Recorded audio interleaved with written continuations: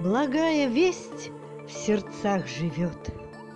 Откройте души для надежды, И скоро в чреве девы нежный Господь пристанище найдет. Наступит в мире благодать, Чтоб людям больше не страдать, Добро нести, грехи прощать, На Божью милость уповать.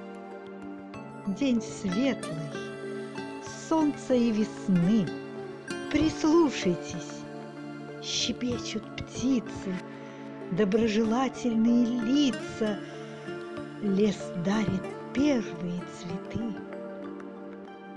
Пусть люди станут чуть добрей, Друг другу чаще улыбайтесь, Душой и сердцем открывайтесь.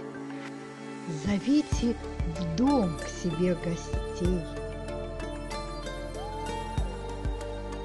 Сын Бога царствует вовек.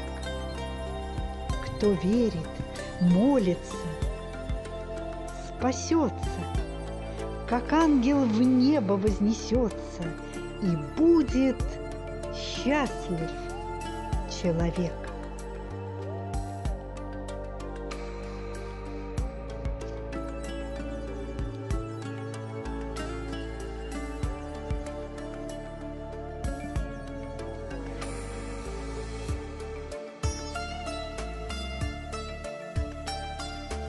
Благую весть при чистой деве принес святой архангел Гавриил.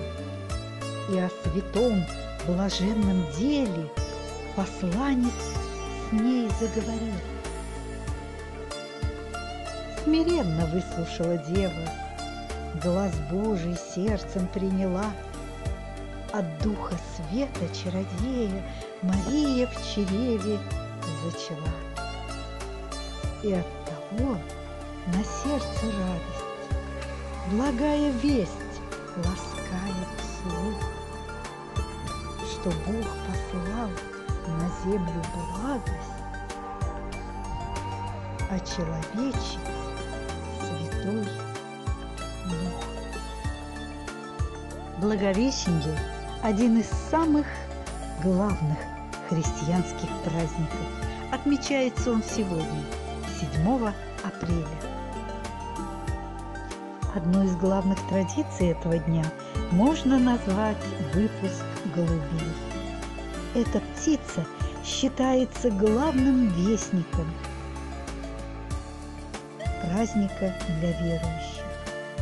Голубь непременно отнесет на небеса молитву о том, кто его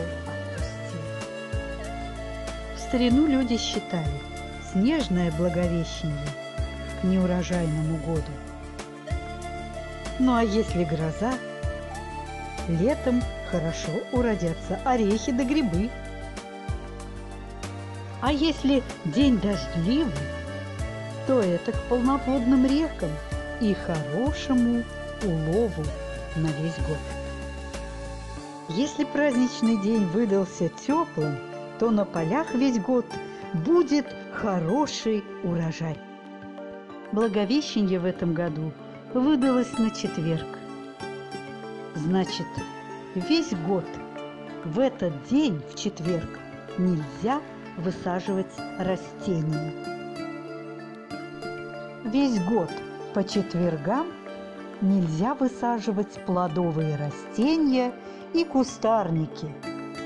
В этом году каждый четверг нельзя высаживать рассаду и овощные культуры. И нельзя высаживать картофель в четверг. Благовест – время нести благие вести.